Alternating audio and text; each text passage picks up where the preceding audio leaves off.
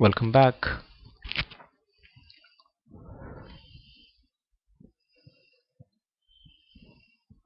So in the previous discussion I was going with dy dx of p into q. Now I will go with dy dx of p by q. So this formula is q dy dx of p minus p into dy dx of q whole divided by q square.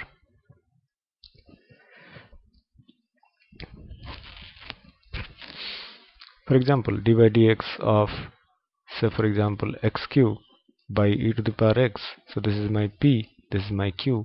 So this is e to the power x dy dx of x cube minus x cube into dy dx of e to the power x whole divided by e to the power x whole square. So this is e to the power x dy dx of x cube. You can ask yourself this is the first formula that is 3 into x to the power 3 minus 1 so this is 3 into x to the power 2 so this is 3x square minus x cube dy dx of e to the power x is e to the power x whole divided by e to the power x whole square is conventionally written as e to the power 2x why I'm obeying the formula x to the power m whole to the power n is x to the power m into n. So e to the power x whole square is e to the power x into 2 e to the power x into 2 is written as x into 2 is nothing but 2x so that's it. After I mean you do not have to take any common or anything. You can leave your answer over here. No problem but if at least you want to take any common you can make it like this e to the power x into 3x square minus x cube divided by e to the power 2x further if you want to take a common of x square you can take it also but you can leave the answer there only.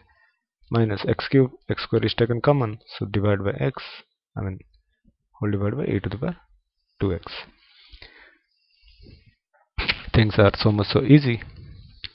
So I'll just visit the formula that we have used till now that e to the power dy dx of x to the power n is all that n into x to the power n minus 1 dy dx of c into x to the power is x uh, x to the power n is c into dy dx of x to the power n which is c into n into x to the power n minus 1 these two are the same. And so on. dy dx of c is 0 then I will come to the next set of formulae. That is dy dx of sin x is cos x dy dx of cos x is minus sin x dy dx of tan x is sec square x dy dx of sec x is sec x into tan x dy dx of cosec x is minus cosec x into cot x dy dx of cot x is minus cosec square x.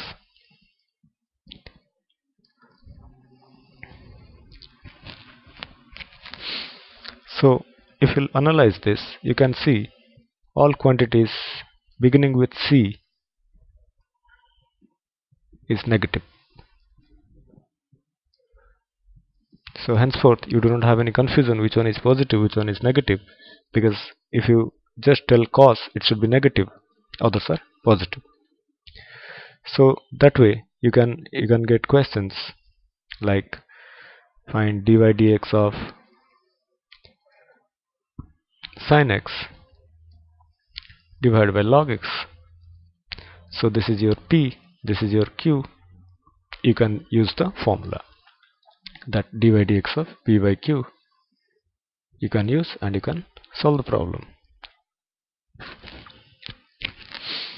Sometimes questions are given to you like this that normally my students get scared of when it is cubed root of x square. Let me say x. So they normally ask me how to do this kind of questions so for that we have to use this formula. There is a formula in class 8 nth root of x is x to the power 1 by n. So if I am writing square root of x then this is x to the power square root. Nothing is there means 2 is there in mathematics. So this is 1 by 2 so this is nothing but square root of x. So cubed root of x is now dy dx of x to the power 1 by 3 so after that you can make it out. 1 by 3 into x to the power 1 by 3 minus 1 so this is 1 by 3 into x to the power 1 by 3 minus 1 if you require you can go to the rough and 2. so this is 1 means 1 by 1 you take the LCM 3 into 1 is 3 then hopefully you, you are cross multiplying like this 1 into 1 3 into 1 so this is 1 minus 3 into 1 is 3 so this is minus 2 by 3 so x to the power minus 2 by 3 so you can leave the answer over here or if you want to move a bit further it's 1 by 3 x to the power minus 2 by 3 again I'll use the formula x to the power minus n is 1 by x to the power n. So I can write this like this 1 by 3 into 1 by x to the power 2 by 3 and I can leave the answer over here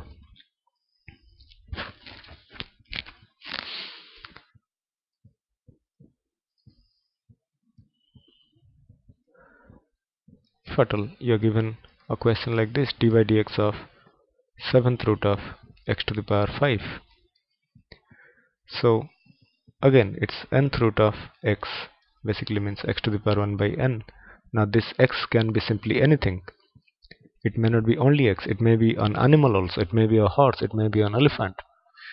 So what I'm meaning that way is 7th root of x to the power 5 is x to the power 5 whole to the power 1 by 7 whatever is there if it is x it is x if it is x to the power 5 write x to the power 5 whole to the power 1 by 7 then x to the power 5 into 1 by 7 I told x to the power m whole to the power n is x to the power m into n so this is x to the power 5 by 7 so this question is only not I mean this is nothing but d, this is equal to dy dx of x to the power 5 by 7 then this you can do 5 by 7 into x to the power 5 by 7 minus 1 so this is 5 by 7 into x to the power 5 minus 7 by 7 so 5 by 7 x to the power minus 2 by 7 which you can further write to be like 5 by 7 into 1 by x to the power 2 by 7 which I can simply write like